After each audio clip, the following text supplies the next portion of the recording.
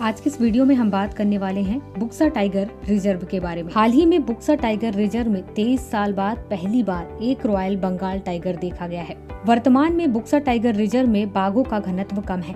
इस वजह से यह काफ़ी चर्चा में है। बुक्सा टाइगर रिज़र्व पश्चिम बंगाल के जलपाईगुड़ी ज़िले के अलीपुर द्वार उपमंडल में स्थित है। उन्नीस सौ तिरासी में भारत के पंद्रहवे टाइगर रिज़र्व के रूप में इसे स्थापित किया गया था। इसे जनवरी उन्नीस में राष्ट्रीय उद्यान घोषित किया गया था। बुक्सा टाइगर रिज़र्व की उत्तरी सीमा भूटान की अंतर्राष्ट्रीय सीमा के साथ लगती है। सिंचुला पहाड़ी श्रृंखला बुक्सा राष्ट्रीय उद्यान के उत्तरी किनारे पर स्थित है तथा पूर्वी सीमा असम राज्य को स्पर्श करती है। टाइगर रिज़र्व में कुछ नदियाँ भी बहती हैं, जिनका नाम है संकोश, रैदक, जयंती चूर्निया तुरतुरी, फसखवा, दीमा और नोनानी। टाइगर रिज़र्व के पास जो भी वन पाए जाते हैं, वो आर्द्र उष्ण कटिबंधी वन वाली क्वालिटी रखते हैं। इसलिए इसे आर्द्र उष्ण कटिबंधीय वन के रूप में वर्गीकृत किया जा सकता है। यहाँ पर जीवों की कई अलग अलग प्रजातियाँ भी पाई जाती हैं, जैसे कि Indian tiger, leopard, clouded leopard, jungle cat, ऐसी कई अलग अलग प्रजातियाँ देखी जाती हैं।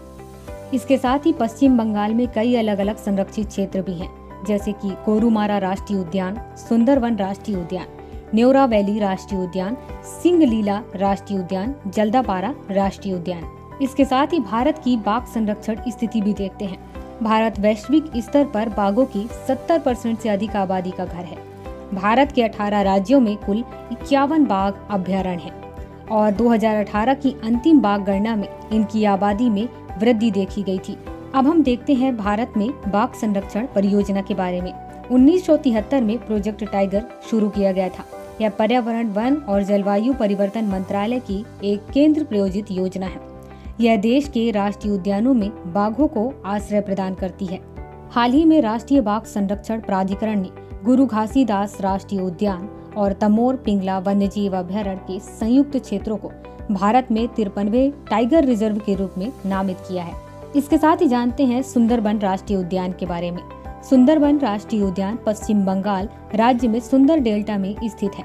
यह एक बाघ एवं जीव मंडल आरक्षित क्षेत्र है। इसके मुख्य क्षेत्र को 1973 में टाइगर रिज़र्व और 1977 में वन्य जीव अभ्यारण्य तथा 4 मई उन्नीस सौ चौरासी को राष्ट्रीय उद्यान घोषित किया गया था।